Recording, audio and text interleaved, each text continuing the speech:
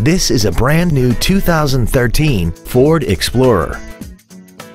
This SUV has a six-speed automatic transmission and an inline four-cylinder engine.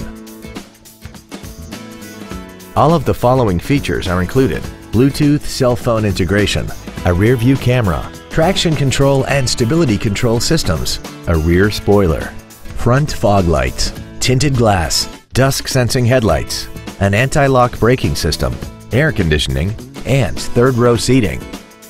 This vehicle won't last long at this price. Call and arrange a test drive now.